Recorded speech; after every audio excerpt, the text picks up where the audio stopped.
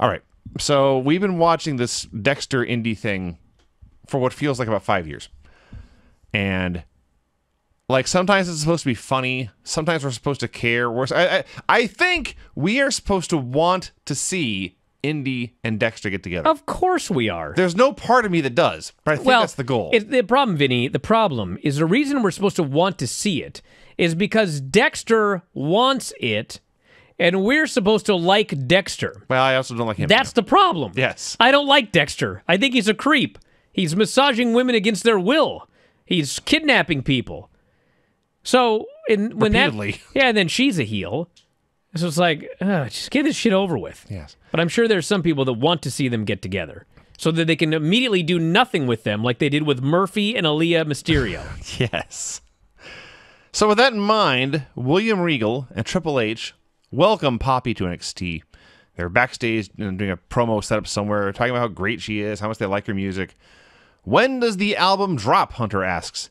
And she says, right now. And she pulls out her phone and hits a button, and that was when her album hit Spotify and whatever. And they plug her album. They plug modern technology, which for Regal and Hunter, I'm sure is a, a miraculous thing. I, and then Dexter Lumis arrives. Now, we last saw him. He was listening to what he knew was Indi's sad love song music and weeping. So clearly, he was still holding a torch out for her. Is that what they say? He was still into her. But now he has made a drawing for Poppy. It's a portrait of Poppy, and he presents it to her. She is moved. She gives me a hug. Now, this is shot very, very closely, all right? So you can barely see the two of them on screen hugging, and Regal and Hunter in the background. And that's like all you can see. But you can imagine if it's set up to be an interview stage, there'd be like, I don't know, 15 feet of empty space on either side of them. Because that's, you know, you have room to walk up or whatever. Indi does not see what is going on until she's like literally touching Poppy. She steps into the screen and says, Dexter. Then she looks almost straight down and sees uh, uh, Poppy there. She sees them hugging. She wails and weeps and screams off. Dexter watches her go, and she is he is ashamed, and I, I guess he follows her. He wa- is. He's I- ashamed. I don't know. But the, the key to all this, why, why I'm going into such detail, is in the background, William Regal and Triple H are playing this 100,000% for comedy. These two are. of course they are. Dexter's a geek. Indi's a geek. The whole thing is a joke. Why should we care? Well, I, uh, I mean, I don't know. Like, I don't even know where to begin. So I think D- the Dexter is supposed to be a fan of Poppy, okay, but Okay. he has no romantic interest in her. I see. He just wanted to give her a picture because he's a fan of her music, I guess. So he's got to act all starstruck, and he gives her the picture, and then like she's just, thank you. She stands there for like an hour and looks at him, like I forgot my line. Well, it's not a line. Hug him. Oh, she goes over and she hugs him, and of course then Indi walks in, and Dexter does the exact same face, the same bug eyes that he did when he was starstruck.